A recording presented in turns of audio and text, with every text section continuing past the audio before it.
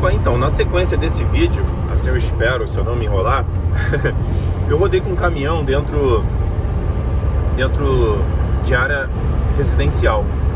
E eu comentei, fiz uns pequenos comentários, mas o mais importante é, ao trafegar com um caminhão é, dentro de uma área dentro de uma área residencial é primeiro assim ter um GPS próprio para caminhão para poder é, manter você informado e orientado sobre todas as situações uh, referente à altura, largura, comprimento, peso do caminhão, aonde você pode e aonde você não pode trafegar. Isso é muito importante. Se você seguir o Google Maps ou Maps, ele vai te orientar conforme um carro.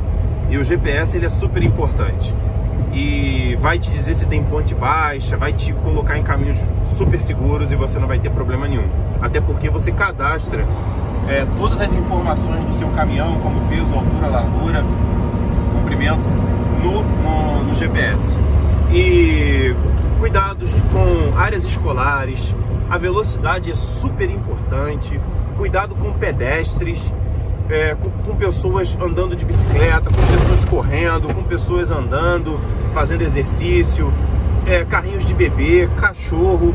Olha, animais domésticos então tem que tomar muito cuidado. É, aqui nos Estados Unidos, é, o animal doméstico ele é mais valorizado e ele é mais cuidado do que o próprio homem.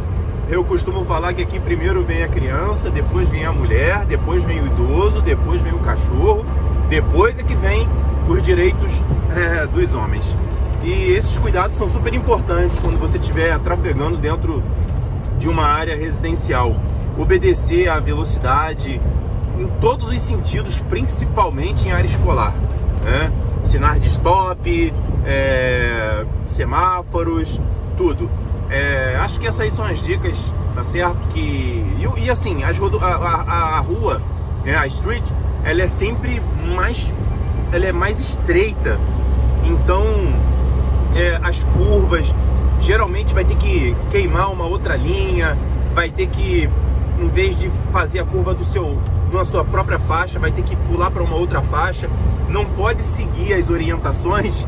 É, eu estou sendo sincero da DMV, da CDL School, não vai é, é acontecer é, de você fazer uma direção segura numa curva, se você não queimar a, a, uma faixa do teu lado, se você não passar por cima de uma faixa de ciclista, senão você vai passar com o pneu é, bem próximo do meio-fio. E o meio-fio nas áreas onde aqui no norte eles são geralmente feitos de pedra ou então de um concreto muito, muito,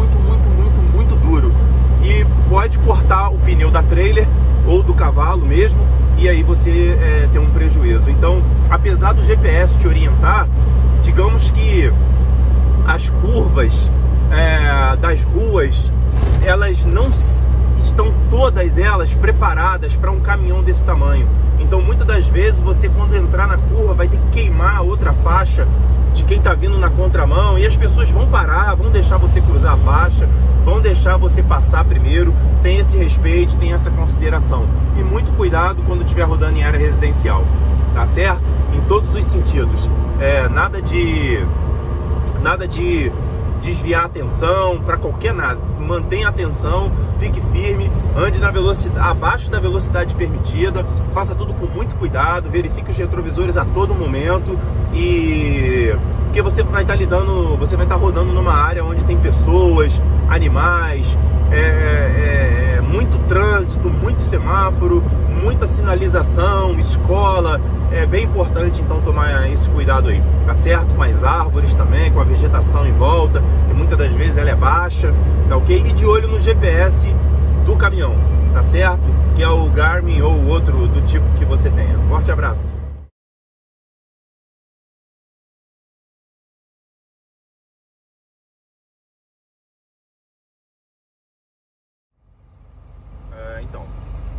É, nós não andamos somente em áreas comerciais ou, como pode ver, é, também rodamos em áreas é, residenciais. sempre muito cuidado, manter a velocidade dentro do limite, tá 35 milhas, cuidado com crianças, escola, pedestres, bicicleta, é, pessoal fazendo exercício aí, correndo, isso é muito importante. Ficar sempre de olho no GPS do caminhão, que é, que é o que vai aí dar. Né, tem, tá todo regulamentado em relação ao tráfego da cidade, com pontes e velocidade, peso, largura, comprimento, altura. É bem importante tomar esses cuidados.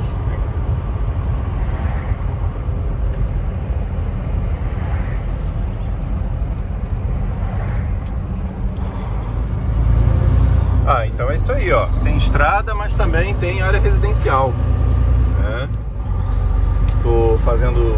Vai ser um vídeo bem curto, só para mesmo. Turn right onto Chestnut Street, then turn right on. Os cuidados aí que a gente precisa ter. Né? E a gente passa. A velocidade é bem mais reduzida, passa por áreas escolares, tá vendo? A velocidade de 25 milha quando tiver piscando.